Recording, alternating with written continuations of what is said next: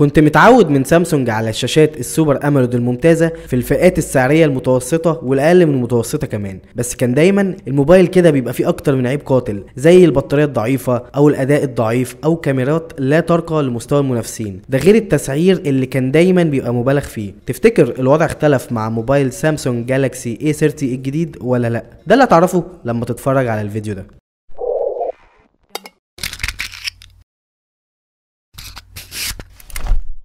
لما تمسك الموبايل لأول مرة أول حاجة هتشدك هي الشاشة ال Super AMOLED الممتازة بسطوعها القوي تحت الشمس ووضوح ألوانها وتفوقها على كل شاشات الموبايلات المنافسة. من الآخر هي تقريبا نفس شاشة ال Galaxy A50 اللي أغلى منه وكمان سامسونج ما بخلتش علينا وحطت الشاشة بنفس الدقة ال Full HD Plus ونفس طبقة الحماية Gorilla الجيل الثالث وكمان الشاشة عليها screen protector لما تيجي تطلع الموبايل من العلبة. بالنسبة لل bezels أو الحواف حوالين الشاشة فهي برضو زي ال A50 الحافة العلوية قليلة وصغيرة والحافة السفلية كبيرة شوية بس طبعا مقبول بالنسبة للفئة السعرية اللي الموبايل ده فيها. وبالنسبة للنوتش فهو Infinity-U اللي محطوط فيه الكاميرا السيلفي وممكن تلغيه من الإعدادات لو مش حابب شكل النوتش. الفئة السعرية اللي الموبايل ده محطوط فيها مفيش مانع يكون الموبايل polycarbonate أو بلاستيك زي معظم المنافسين. أيوه طبعا هيتخربش ويتبهدل مع الاستخدام ومع الوقت. ولا يفضل إنك تمشي بيه من غير الجراب الشفاف اللي جاي معاه في العلبة علشان تحافظ عليه. بالنسبة للمسكة في الإيد فهي كويسة جدا لأن الموبايل وزنه خفيف أقل من 170 جرام تخانته أقل من 8 مللي وكمان في curve ات في الظهر. الثلاث حاجات دول مع بعض مخليين المسكة في الإيد كويسة جدا ومش هتتعب منها. وأحب أكد عليك إن الموبايل ما فيهوش حماية من الماء والأتربة زي أخوه الكبير ال Galaxy A50 اللي برضه ما فيهوش حماية من الماء والأتربة. المنطق والعقل بيقول لو في حماية رسمية سامسونج هتحط الشهادة بتاعه الحماية من الماء والأتربة على علبة الموبايل وهتركز عليها في الدعاية بتاعه الموبايل والحاجتين دول ما حصلوش. نيجي للمعالج الجديد اللي في الموبايل ده وهو معالج Exynos 7904 ده نفس معالج السامسونج M20 اللي كنتوا بتتهافتوا عليه. أداء المعالج ده فكرني جدا بمعالج Snapdragon 636 موبايل A30 حقق على AnTuTu 105 ألف نقطة. وبعيدا عن الأرقام الأداء الفعلي للموبايل كويس جدا. لو كان الموبايل ده نزل في 2018 كان هيبقى الأول في ترشيحاتنا. بس إحنا في 2019 في منافسين بمعالجات Qualcomm Snapdragon 660 زي ال Note 7 وال Realme 2 Pro اللي بكل تأكيد بيقدموا أداء أفضل. عموما نرجع للسامسونج A30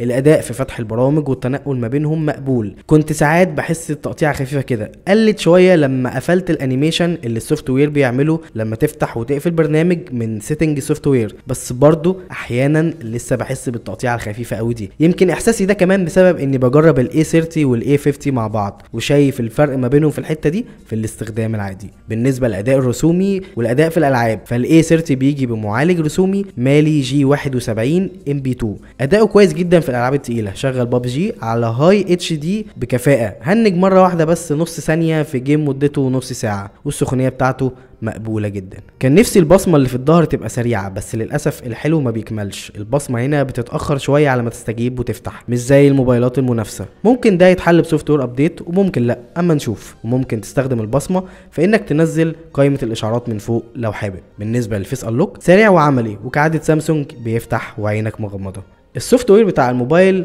هو نفس software سامسونج Galaxy A50 One UI ب Android 9 اتكلمت عن ال software بالتفصيل الممل في مراجعة ال Galaxy A50 اللي ظاهره لك في ال i اللي فوق دلوقتي. وتحديدا كانت في الدقيقة الخامسة من الفيديو. لو برضو مش عاوز تروح تشوف الفيديو هلخص لك بسرعة إيه الموجود في ال software. ال night mode اللي بيقلب القوائم أسود عمل نسختين من برامج التواصل الاجتماعي ال split screen ال smart pop-up view علشان تخلي أي application عايم زي كده ال Messenger وكمان نقرتين على الشاشة علشان تفتح. الموبايل برضو ما فيهوش لمبة إشعارات بس بيدعم ال always on display علشان يعرض لك أيقونات الإشعارات اللي جات لك من غير ما تحتاج تفتح الشاشة. وكمان في reminder أو تذكير بالإشعارات اللي جات لك وأنت ما فتحتهاش ودي موجودة في setting الموبايل. بالنسبة للمستشعرات بيدعم الجيروسكوب علشان تشغل نظارات الواقع الافتراضي وبيدعم مستشعر الضوء علشان يظبط لك إضاءة الشاشة على حسب إضاءة الغرفة وكمان بيدعم الراديو FM بالنسبة لصوت سماعات المكالمات فهو عالي ومسموع زي ال Galaxy A50 بالظبط.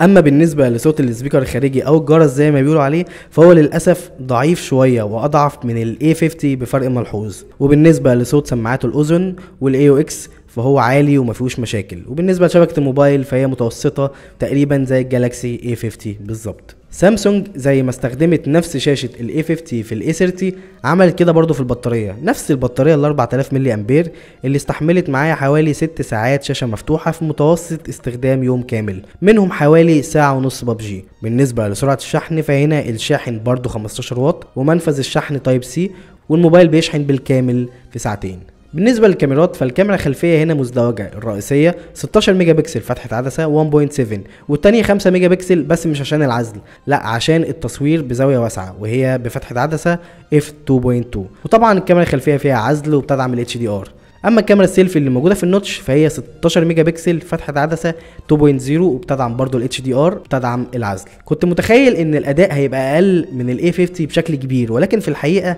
لا خالص. هوريكم صور متصورة بال A30 وبعديها صور تانية متصورة بال A30 جنب ال A50 هتشوف بنفسك جودة كاميرات ال A30 اللي أنا شايفها ما أثرتش خالص في التصوير خصوصا في الفئة السعرية اللي هو فيها. هو يمكن بس البورتريه في الكاميرا الخلفية ما عجبنيش قوي وبيغلط كتير بس بشكل عام ما أقدرش أقول على الكاميرات دي إنها وحشة.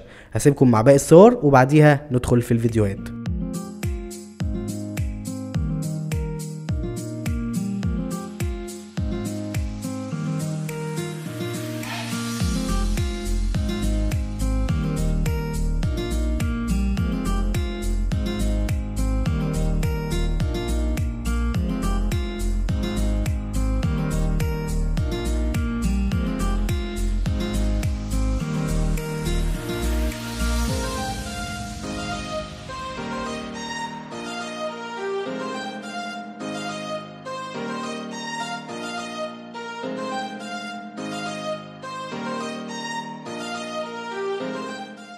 بالنسبة لتصوير الفيديوهات في ال Galaxy A 30 فهو تقريبا زي ال A50 بيصور 1080 p وبيصور 720 p بس هنا مفيش slow motion هو ده الفرق. وأنا دلوقتي بصور بالعدسة العادية على 1080 p هنشوف مع بعض جودة آه، ثبات الفيديو لأن أنا بتمشى زي ما أنتم شايفين. وهنشوف برضو العزل بتاع المايك لأن أنا في نفس الطريق الدوشة بتاع كل مرة علشان نشوف المايك الاضافي هنا شغال إزاي. بالنسبة لتصوير الفيديوهات بالليل فأنا دلوقتي بصور بطريقة مختلفة شوية. أنا بصور بال Galaxy A30 على 1080 p 30 frame. بس المرة دي بصور وأنا ماشي بالعربية. تقريبا على سرعة 100 أو زي ما أنتم شايفين. على الدائري الإضاءة آه، ضعيفة قوي. الإضاءة يمين وشمال إضاءة بيضاء خفيفة قوي. في وش الكاميرا في ضهر العربيات التانية بالكشافات بالنور الأحمر اللي كل شوية تنور وتطفي. ودي حاجة صعبة قوي مع الكاميرا إنها تهندلها أو تتعامل معاها. وفي نفس الوقت برضه هنشوف الثبات ثبات الفيديو لأن طبعا إحنا على الدائري مطبات هوا بقى ومراجيح زي ما أنتم عارفين. سعر الموبايل الرسمي 3850 جنيه للنسخة الوحيدة اللي موجودة. 64 جيجا مع 4 جيجا RAM وتقدر تركب كارت memory وشريحتين اتصال مع بعض في نفس الوقت. رأيي النهائي في الموبايل. Galaxy A30 بيقدم لك شاشة مفيش منافس هيقدمها في السعر ده مع بطارية قوية وشحن سريع وكاميرات مقبولة وأداء مقبول. مع التحفظ طبعا على سرعة البصمة وصوت الموبايل والخامات البلاستيك اللي ممكن تكون كل دي مش عيوب بالنسبة لاستخدامك. المنافس المباشر للموبايل ده هو ال Xiaomi Note 7 اللي هيقدم كاميرا خلفية أفضل مع أداء أفضل وصوت أعلى وظهر زجاجي. بس طبعا مش هيقدم الشاشة الممتازة اللي موجودة في ال Galaxy A30 اكتبوا لنا في الكومنتات تحت. عاوزين أنهي مقارنة الأول؟ اللي بين ال Note 7 وال A50 لأنهم تقريبا متقاربين جدا في الأداء والكاميرا الخلفية بعيدا عن فرق السعر. ولا عاوزين المقارنة بين ال Note 7 وال A30 لأنهم هيبقوا تقريبا بنفس السعر. مش هوصيك بقى وأنت بتكتب ال comment تعمل like وتتأكد إنك عامل subscribe في قناة Mobizil ومفعل الجرس علشان تشوف المراجعة الجاية وهي مهمة جدا وكلكم بتسألوا عليها وهي مراجعة ال Xiaomi Note 7